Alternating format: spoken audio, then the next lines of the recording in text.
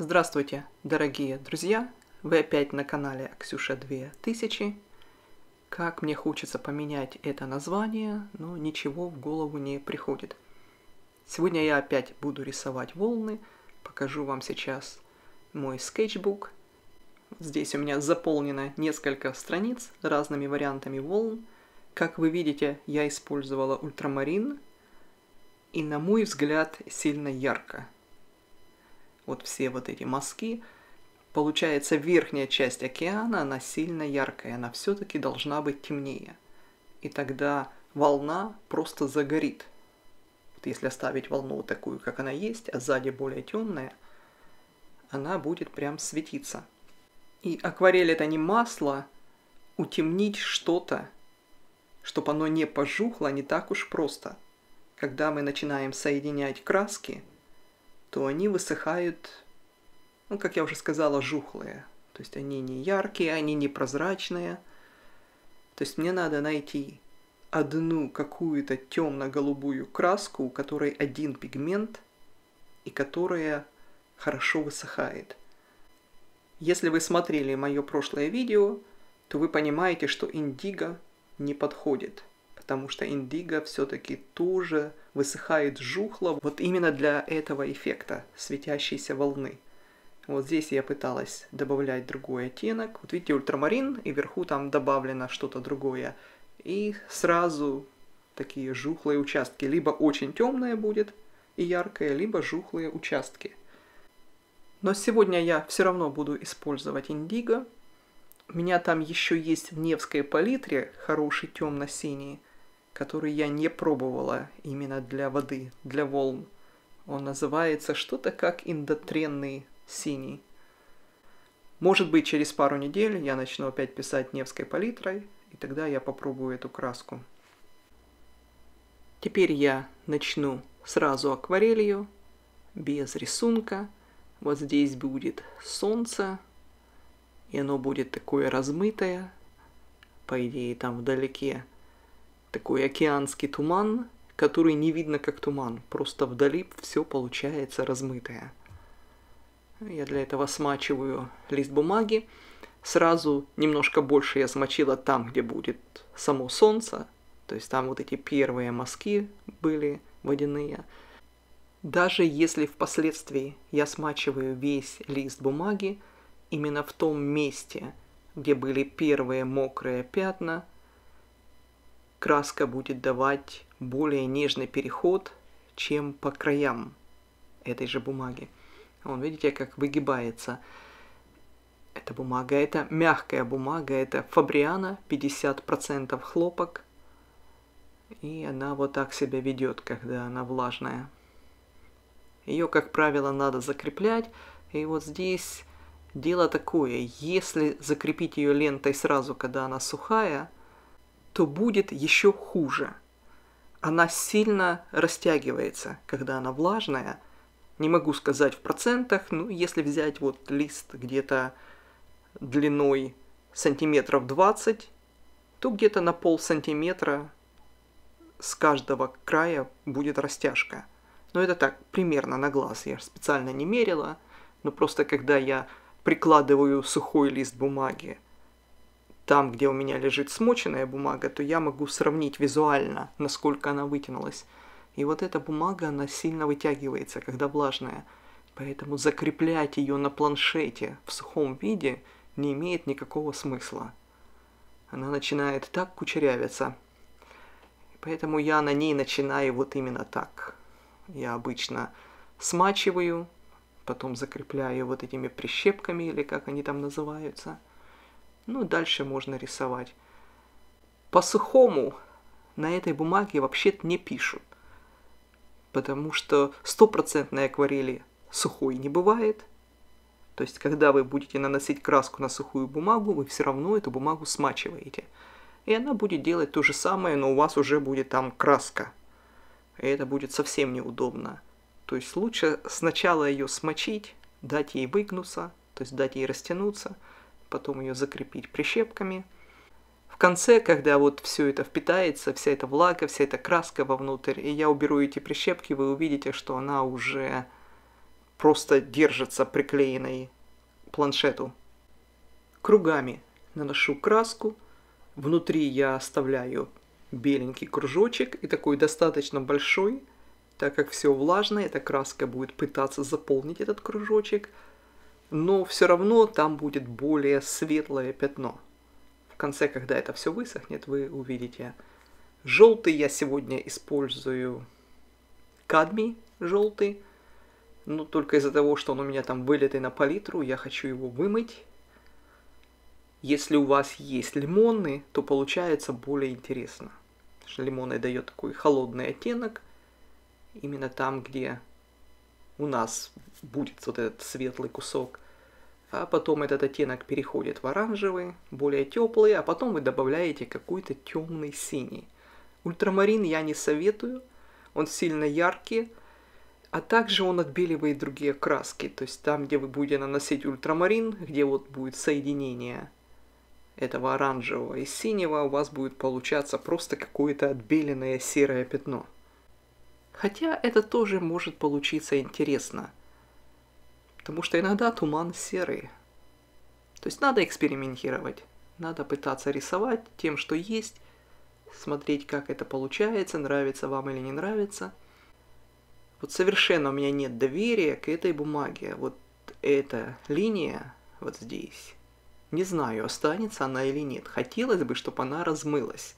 Чтобы не было вот такого четкого круга между холодным и теплым. Если бы это был стопроцентный хлопок, то я бы об этом и не думала. Потому что я знаю, что хлопок, он размывает такие границы – Древесная бумага обычно нет. Она обычно держит мазок, даже если это по-мокрому. Конечно, смотря какая тоже бумага, если она сделана из шелковицы, из древесины шелковицы, то она тоже размывает. Но у нас же никогда не определяют, из чего бумага. Я знаю, что когда делают бумагу для каллиграфии, для любой азиатской каллиграфии, то обязательно пишут, какая это бумага. Там бумага из дуба, бумага из сосны, бумага из шелковицы. И мне пару раз как-то попадалась бумага из шелковицы, и я не могла сказать, это хлопок или это не хлопок. Вот примерно где будет зеленая, там у меня будет, хочу сказать, волна, но волна все-таки будет выше. Это там у меня уже будет просвечиваться песок. Хочу добавить еще больше влаги, чтобы именно разошлись мазки и кисточки, а пятна от брызгов, они как раз подойдут, так как это вода, там будет бушевать пена, то есть все эти пятна будут украшать эту работу, будут придавать больше интереса. Вон видите, как я побрызгала, и текстура бумаги видна, как она интересно выглядит. И вот внизу, где я покрасила зеленым, и вон там видны мои даже отпечатки пальцев. То есть бумага такая чувствительная, но это потому что она мягкая. Когда вы руками ее берете, немножко придавливаете, и потом в том месте краска не берется. Вон видите, сколько у меня воды, прямо лужи стоят. Я знаю, что люди очень часто боятся мокрую акварель. Именно писать по мокрой бумаге, мокрыми мазками. Но это дает очень даже интересный результат. Просто надо начать, просто надо поэкспериментировать, там сделать штуки три работ, на четвертый, пятый начнет получаться. Но я уже определилась, где у меня примерно будет волна. Теперь мне нужно будет провести горизонт – я сейчас вот сюда добавила опять гранулирующей краски кобальт туркуиз, но очень мало. То есть я хочу, чтобы у меня там были какие-то пятна от грануляции.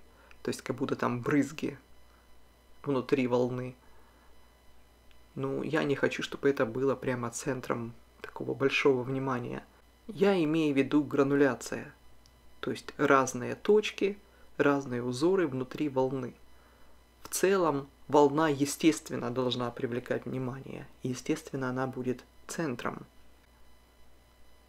Сухой кисточкой, вернее не сухой, а отжатой кисточкой. Я провела горизонт, и как послушно выбралась вода, и теперь там же я провожу темно-синюю полосу.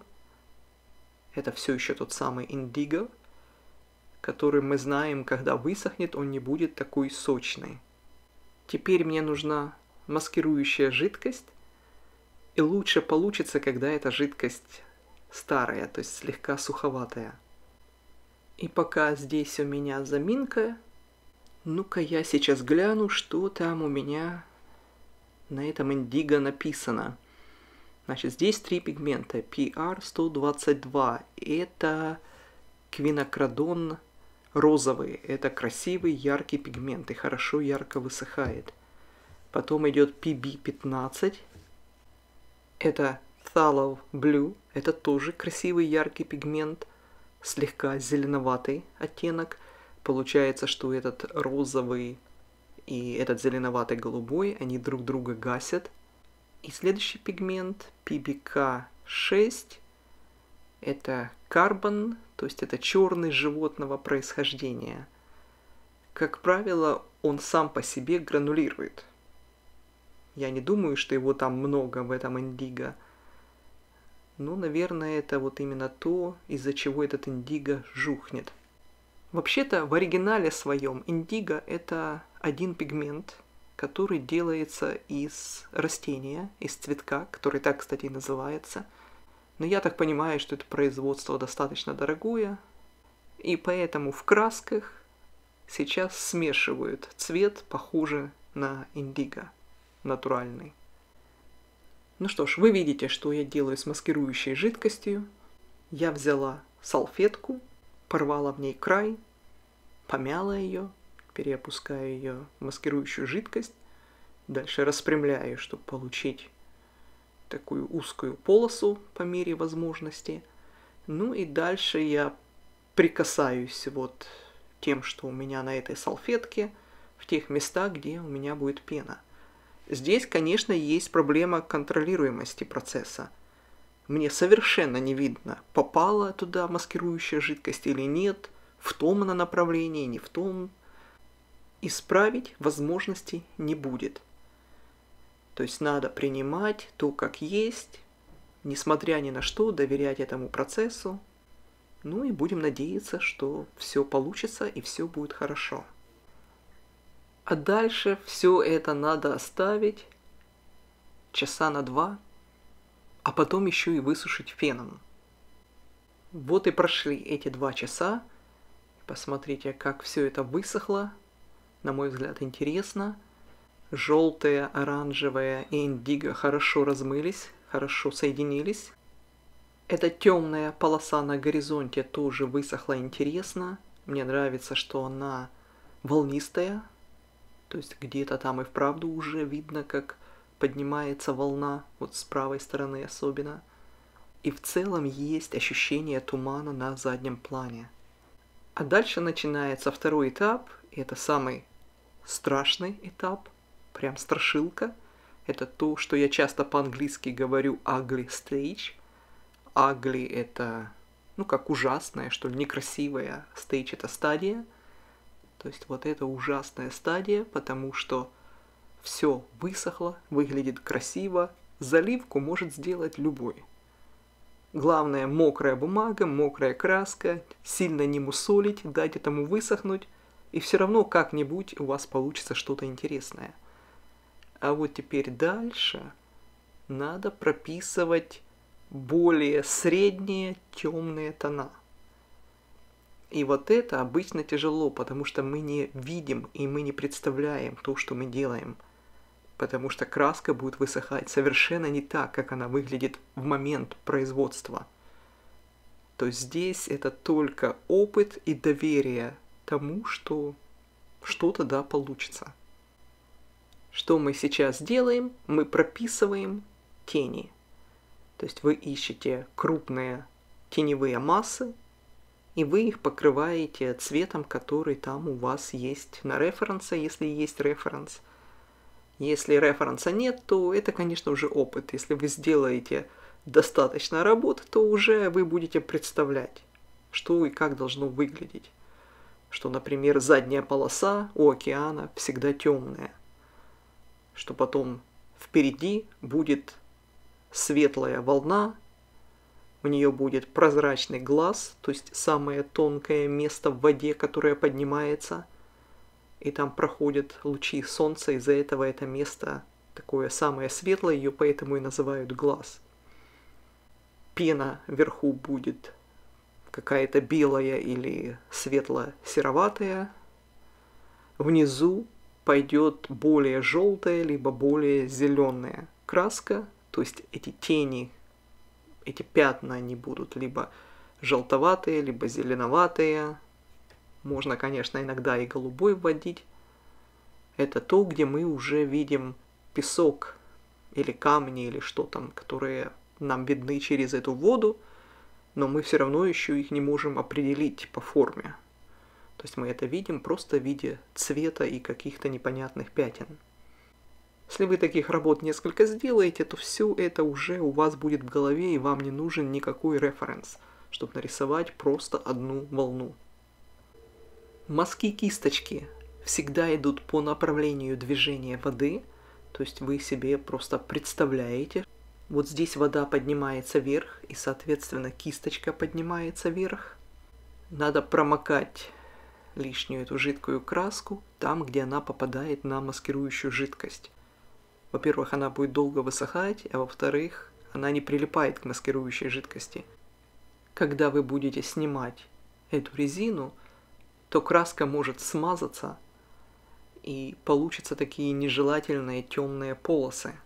Хотя, когда мы пишем вот нечто такое, как волну, океан, природу, то, наверное, все эти смазанные полосы, они значения не имеют, может и наоборот. Но у меня просто уже привычка такая. Если бы это был портрет, например, то, конечно же, эти полосы были бы совершенно нежелательные. Теперь все это надо очень хорошо высушить, перестраховаться, несколько раз сушить, я имею в виду, так как дальше я буду снимать маскирующую жидкость, и если бумага хоть чуть-чуть мокрая, хоть где-то в каком-то маленьком месте, эта маскирующая жидкость сделает там дырку. Прямо вырвет клочок бумаги. Но теперь можно снимать маскирующую жидкость. Для этого есть специальная резинка. Моя уже такая старенькая, вот она. Когда это новое, то оно такое квадратное, белого цвета. Моей где-то года два. Вот через два года она будет вот такой. И, конечно, если использовать эту жидкость так, как использую я, я не могу сказать, что я там прям каждый день что-то рисую и использую маскирующую жидкость. На самом деле я это делаю очень даже редко. Хотя хочется как-то начать ее применять вот в таких крутых каких-то моментах, когда ее смешивают с краской, там брызгают ей, заливают ей – в общем, это надо экспериментировать.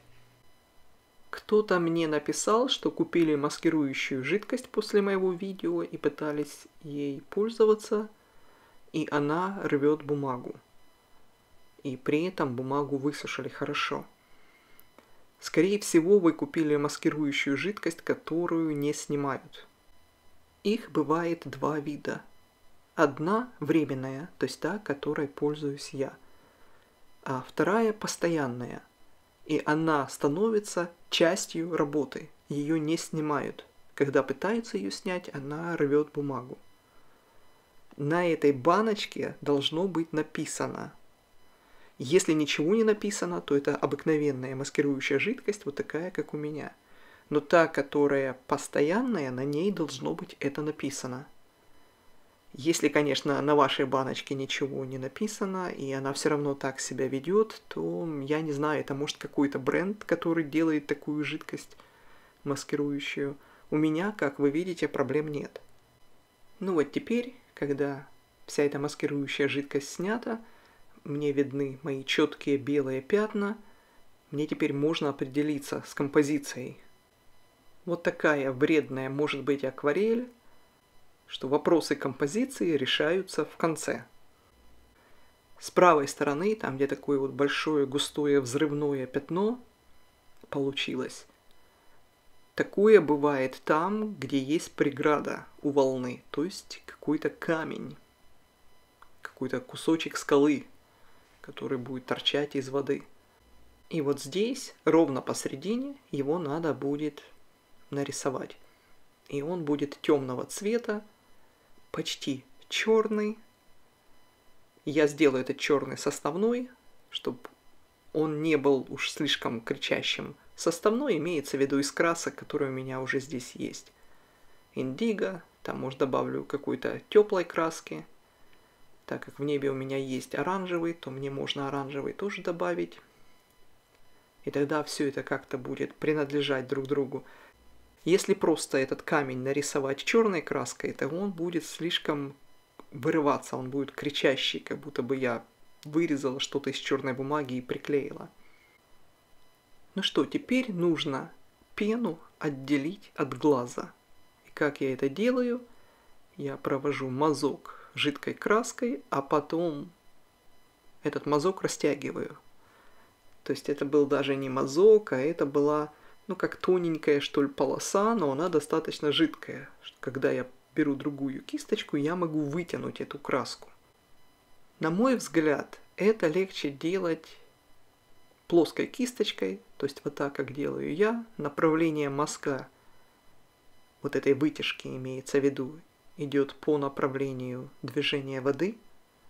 Хотим мы или не хотим, там будут оставаться какие-то белые пропуски, которые в конце будут именно и создавать всякие линии, которые показывают направление движения воды – я видела, как художники делают подобное круглой кисточкой одним мазком. То есть они ставят плоско эту кисточку на границу пены и этого глаза, и потом одним мазком протягивают, и у них даже очень хорошо получается. Но это такой рисковый способ. Этим одним мазком можно, в принципе, все испортить. Более легкий способ, на мой взгляд, вот этот последовательный, когда вы проводите жидкий мазок, а потом вы его растягиваете. Это просто и понятно. И вообще, когда мы все это выписываем, я имею в виду все эти легкие мазки внутри вот этой белой массы, здесь главное не переделать. Лучше сделать меньше, чем слишком много. Я на кисточку беру очень слабую краску, такое ощущение, что она вообще не оставит никакого мазка в этом белом пространстве. Но мазки все-таки остаются. Иногда приходится идти два-три раза по одному и тому же месту, потому что краска такая слабая. Но это все равно лучше, чем перетемнить, а потом вытирать. Но теперь уже видно, как постепенно вырисовывается волна. Вот это большая основная волна. Я сейчас еще раз прохожу по этому месту, которое называется глаз. Там внизу тоже есть маленькая волна, которая либо заканчивается, либо только собирается. Но дальше я буду делать камень. Надо быть уверенными, что это место белое, там, где будет камень или кусок скалы, совершенно сухое. Иначе эта темная краска растечется и все испортит. Это еще не камень, Здесь тоже темная краска, но камень будет с правой стороны. А это я просто все еще оттеняю пену от воды, чтобы было четче и понятнее. Потом, когда все вот это зеленоватое высохнет, то я внизу проведу пару темных мазков. Просто сейчас, когда все влажное, в этом нет никакого смысла. Ну что, теперь надо сделать хороший темный цвет – я уже говорила, почему я не хочу брать просто черный, а я хочу смешать краску так, чтобы получился близок к черному оттенок. Беру жженую умбру, потом индиго. В результате получился какой-то зеленоватый оттенок. Он мне не понравился. Дальше я добавила теплый коричневый. Наконец-то у меня получился какой-то такой нейтральный темный оттенок. Вначале я слабо прорисую форму, то есть пятно этого камня, А потом туда добавлю больше краски, чтобы его сделать более темным. Когда эта краска высохнет, она не будет такая сплошная, будут пятна, где-то будет чуть теплее, где-то чуть холоднее. В целом этот камень должен быть темный. Во-первых, мы на него смотрим против солнца, то есть мы не будем видеть никаких там отдельных оттенков, там каких-то белых полосочек, все будет засвеченное. А во-вторых, он мокрый. То есть он должен быть вот именно такой темно-серый какой-то. Наверное, для видео я над этим камнем работаю больше, чем надо. Его можно сделать просто двумя простыми мазками и получить достаточно хорошую свободную форму. Но ответственность, друзья. Хочется сделать как лучше. Ну вот, камень окончены. Теперь обещанная парочку темных мазков. Это индиго чистый. Эти мазки должны быть легкие. Прямо такое слабое прикосновение. Теперь все это надо высушить. Я буду сушить феном лучше, конечно, оставить, чтобы это высохло само, потому что краска все еще будет взаимодействовать. Но для этого надо время, может быть часик. У меня уже этого времени нет, так что я высушу феном, и вы сразу увидите, что получится. И последние две минуты я хочу потратить на то, чтобы поблагодарить вас всех, кто пишет такие замечательные комментарии. Вы уж меня извините, что я отвечаю сейчас на них намного медленнее. Одно дело, когда было 2000 подписчиков, 3000 подписчиков, и количество комментариев было такое, что мне было легко отвечать в этот же день. Но как только переваливает вот где-то за 7000 подписчиков, комментариев становится достаточно много. И многие из этих комментариев, даже большинство из этих комментариев – ставят под старыми видео, которые вы уже даже и не видите. И, возможно, я говорю о каком-то комментарии, отвечаю на какой-то вопрос, который никто даже не может и найти. А также я хочу поблагодарить кого-то, не знаю кого, но кто-то два дня назад поместил куда-то мое видео, то есть куда-то в какие-то социальные сети, и буквально за два часа у него было 2000 просмотров. Это видео, которое я делала на прошлой неделе. Там, где я в маленьком блокноте, не, не в маленьком блокноте, в большом блокноте рисовала 4 отдельных картинки. И у него так резко, буквально за несколько часов подпрыгнули просмотры, что я понимаю, что кто-то куда-то это видео поместил. Спасибо вам большое. Ну что ж, на этом мое видео подходит к концу. Спасибо всем, кто досмотрел его до конца. Я всегда надеюсь, что мои видео приносят пользу, отвечают на какие-то полезные вопросы, что кто-то чему-то по моим видео научился. Это мне вообще всегда приятно знать. На сегодня это все. До свидания. Удачи вам в вашем творчестве. И возвращайтесь на мой канал. Пока.